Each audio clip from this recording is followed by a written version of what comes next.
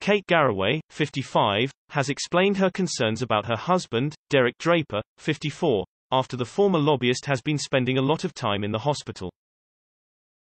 The star took to Instagram today, with a peaceful post of her back garden in order to show off her gardening skills as a means of temporarily distracting herself.